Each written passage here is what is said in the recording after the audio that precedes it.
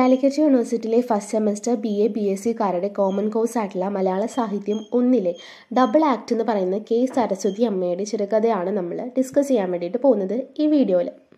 ഉള്ളിൽ ദുഃഖം പതഞ്ഞൊഴുകുമ്പോഴും ചിരിക്കാൻ ആഗ്രഹിച്ച എഴുത്തുകാരിയാണ് കെ സരസ്വതി അമ്മ എന്ന് പറയുന്നത്.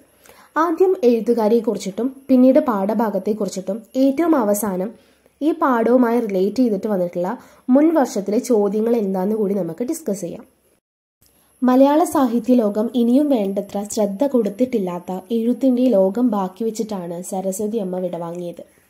പെണ്ണെഴുത്തിനും ആണെഴുത്തിനുമുള്ള വേർതിരിവ് മുമ്പേ സ്വത്വബോധം തെളിഞ്ഞ കഥകളാണ് കെ സരസ്വതി അമ്മയുടേത്. ഇനി കെ സരസ്വതി അമ്മയെക്കുറിച്ച് പറയുകയാണെന്നുണ്ടെങ്കിൽ തിരുവനന്തപുരം കുന്നപ്പുഴ ഗ്രാമത്തിൽ കിഴക്കേ വീട്ടിൽ ആയിരത്തി തൊള്ളായിരത്തി പത്തൊമ്പത് ഏപ്രിൽ നാലിനാണ് ജനിച്ചത്. തിരുവനന്തപുരം ഗവൺമെന്റ് ആർട്സ് കോളേജിൽ നിന്ന് ബി എ പാസ്സായി. എം എ കെ യൂണിവേഴ്സിറ്റി കോളേജിൽ ചേർന്നെങ്കിലും പൂർത്തിയാക്കാനായില്ല. ആദ്യ ചെറുകഥ ആയിരത്തി തൊള്ളായിരത്തി മുപ്പത്തി എട്ട് മാർച്ചിൽ മാതൃഭൂമി ആഴ്ച പതിപ്പിൽ വന്ന സീതാഭവനം ആദ്യ നോവൽ ആയിരത്തി തൊള്ളായിരത്തി നാൽപ്പത്തി നാലിൽ മാർച്ചിൽ പ്രസിദ്ധീകരിച്ചു.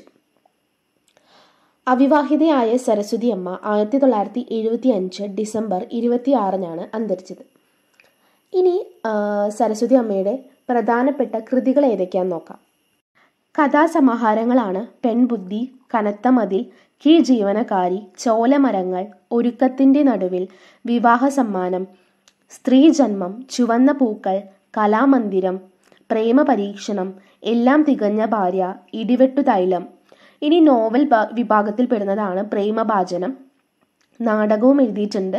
ദേവദൂതി ലേഖന സമാഹാരമായിട്ടുള്ളത് പുരുഷന്മാരില്ലാത്ത ലോകമാണ് ഈ ഡബിൾ ആക്ട് എന്ന കഥയിലേക്ക് വരുമ്പോൾ കോളേജ് ക്യാമ്പസിലെത്തുന്ന വിദ്യാർത്ഥികൾ തികച്ചും പ്രായത്തിൽ പക്വതയുള്ളവരാണ്. അവർക്ക് ഇഷ്ടവും ആശയവും ഒക്കെ പ്രദർശിപ്പിക്കാൻ ഇടമുണ്ട്.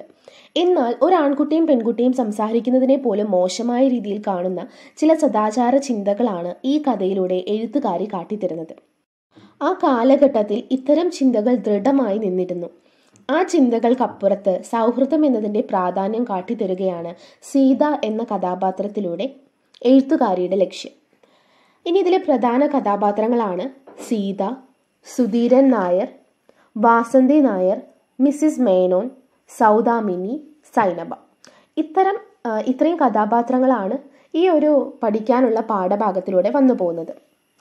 ക്യാമ്പസിലെ കപട സദാചാര ചിന്തകൾ വേട്ടയാടപ്പെട്ട ഒരു കഥാപാത്രമാണ് സീത. ഇനി ഈ വേട്ടയാടപ്പെടാനുള്ള കാരണമായി തീരുന്നത് വാസന്തി നായർ എന്ന് പറയുന്ന ഒരു അധ്യാപികയാണ്. വാസന്തി നായരെ പോലുള്ള അധ്യാപികമാർ അവരുടെ കാഴ്ചപ്പാടുകൾക്ക് അനുസരിച്ചിട്ട് വിദ്യാർത്ഥികളുടെ പ്രവൃത്തികളെ വ്യാഖ്യാനിക്കും. അതിലൂടെ അവർ ധാരാളം സംഘർഷങ്ങൾ അനുഭവിക്കേണ്ടി വരുന്നു. ആ സംഘർഷങ്ങളിലൂടെയാണ് ഈ കഥയുടെ പോക്ക്. ക്രിസ്തുമസ് അവധി കഴിഞ്ഞ് കോളേജ് തുറന്നത് മുതലാണ് ഈ പാഠഭാഗം ആരംഭിക്കുന്നത്. അപ്പോൾ പല വിശേഷങ്ങളും പറയാനുള്ള കാര്യങ്ങളൊക്കെ ഇതിൽ പറയുന്നുണ്ട്.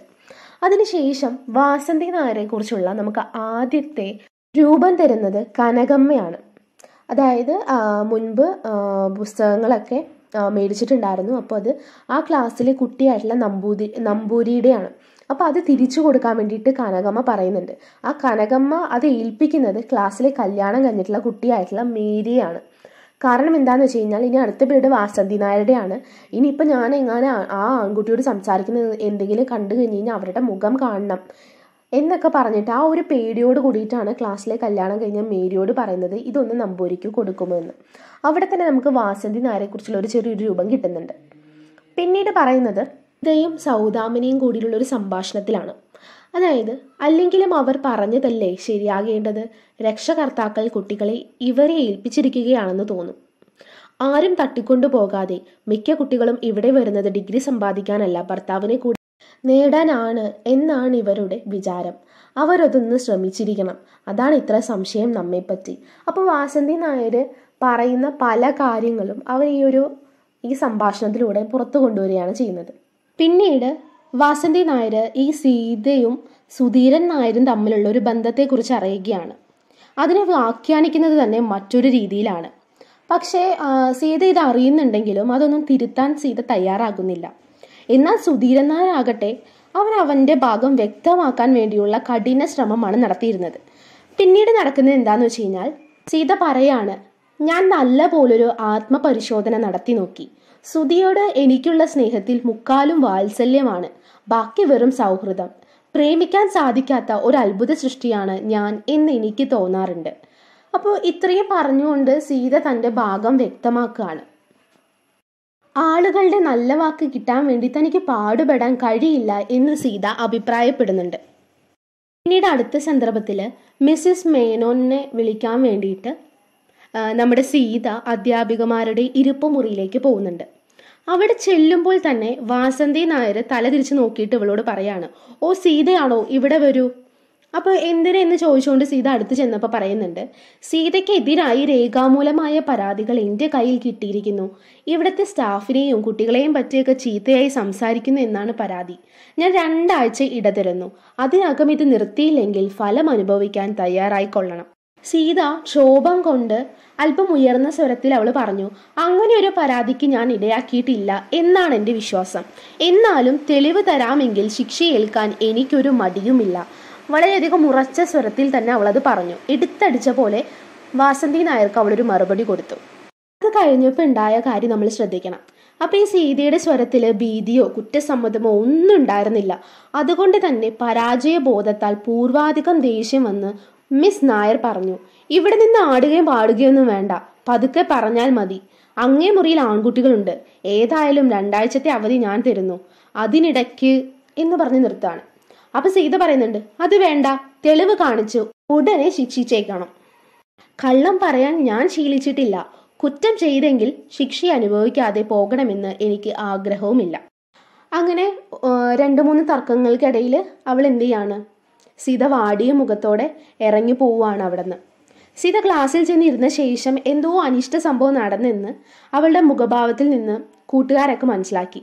അത് കഴിഞ്ഞിട്ട് ക്ലാസ് തുടങ്ങാനുള്ള മണി അടിച്ച ഉടനെ മിസ്സിസ് മേനോൻ എന്ത് ചെയ്തു? ബുക്കുകളായിട്ടൊക്കെ അകത്തേക്ക് വന്നു. അവർ കസേരയിലേക്ക് ഇരുന്നിട്ട് ചോദിച്ചു കലയുടെ ശാകുന്തളം എല്ലാവരും വായിച്ചോ? അപ്പോൾ വിദ്യാർത്ഥികളൊക്കെ സീതയെ നോക്കുകയാണ് അവൾ പറഞ്ഞു പുസ്തകം എന്റെ കയ്യിലായിരുന്നു. ഞാൻ മുഴുവൻ വായിച്ചതുമില്ല. അപ്പോൾ ടീച്ചർ ചോദിക്കാണ് അതെന്ത്? ഓ വേറെ രസമുള്ള ജോലികളില്ലേ. അപ്പോൾ സീത അതെ സീത അവരുടെ ഹാസ്യഭാവം കാണാത്ത മട്ടിൽ പറഞ്ഞു. ഞാൻ എമിലി സോളയുടെ നാന വായിക്കുകയായിരുന്നു. ഈ സമയത്തൊക്കെ അധ്യാപികയുടെ മുഖത്ത് കടുത്ത ഹാസ്യരസം പ്രകടമായി. അപ്പോൾ ഇങ്ങനെയുള്ള സന്ദർഭത്തിൽ നിന്ന് നമുക്ക് മനസ്സിലാവുന്നത് സ്ത്രീ തന്നെയാണ് സ്ത്രീയുടെ ശത്രു. അതുതന്നെയാണ് എഴുത്തുകാരി ഇവിടെ പറഞ്ഞു വയ്ക്കാൻ വേണ്ടിയിട്ടും ശ്രമിക്കുന്നത്. പിന്നീട് സീത സൗദാമിനി വഴി മനസ്സിലാക്കുകയാണ്. അന്ന് വാസന്തി നായർ പറഞ്ഞിട്ടുള്ള ആ പരാതി എഴുതി കൊടുത്തത് സുധീരൻ നായരാണെന്ന്. അതിനുശേഷം സീത സുധീരൻ നായരെ കണ്ട് ചോദിക്കുന്നുണ്ട് എന്തോ എഴുതി കൊടുത്തെന്ന് പറഞ്ഞത്? എന്നൊക്കെ ചോദിക്കുന്നുണ്ട്. അപ്പോൾ സുധീരൻ നായർ പറയുന്ന മറുപടി ഇതാണ് അവർ അവരുടെ ചെറുപ്പകാലത്ത് വല്ലവർക്കും വല്ലതും എഴുതി കൊടുത്തിരിക്കാം. അല്ലാതെ ഞാനൊന്നും എഴുതി കൊടുത്തിട്ടില്ല. എനിക്കാരും തന്നുമില്ല. പക്ഷേ ആ സമയത്ത് അയാൾ പറഞ്ഞത് അവിശ്വസനീയമായിട്ട് സീതയ്ക്ക് തോന്നിയില്ല.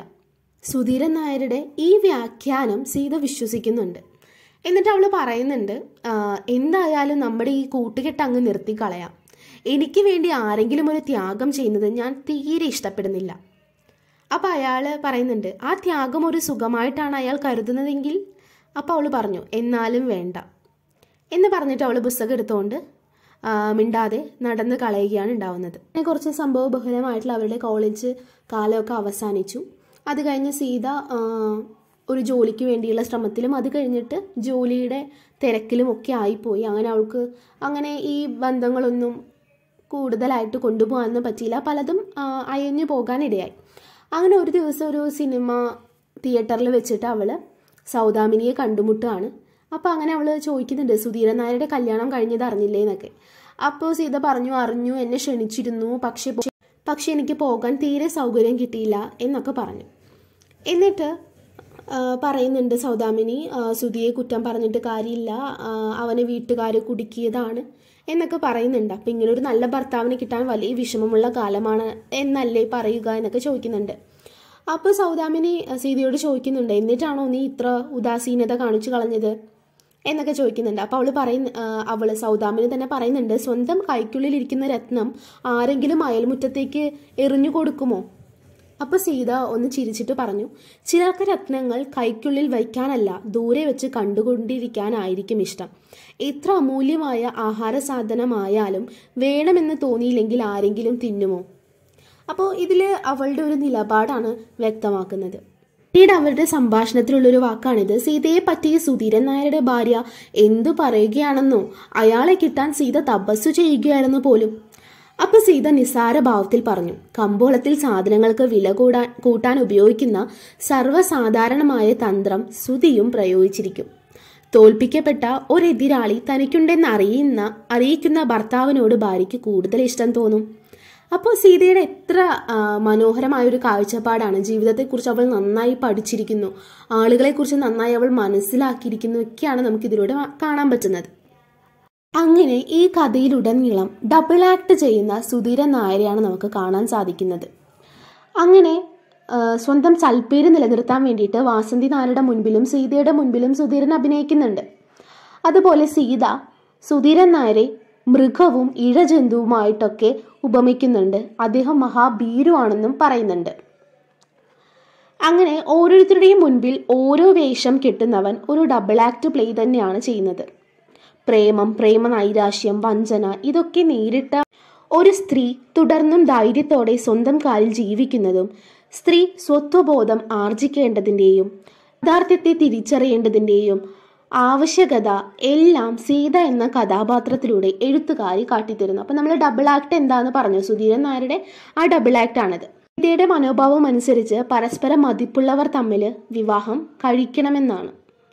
തനിക്ക് ഇഷ്ടമുള്ളവരെയൊക്കെ കല്യാണം കഴിക്കാൻ പറ്റുമോ എന്നൊക്കെ സൗദാമിനിയോട് ചോദിക്കുന്നുണ്ട്. അങ്ങനെ തന്റെ നിലപാടുകൾ വളരെ ഉറച്ച രീതിയിൽ തന്നെ പറയുകയാണ് സീത.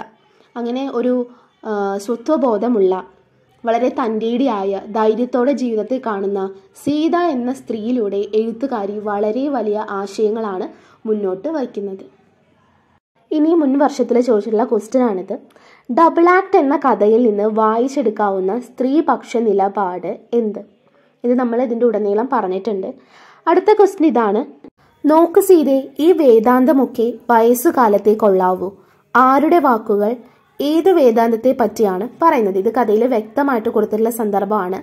സൗദാമിനി സീതയോട് പറയുന്ന വാക്കുകളാണിത്.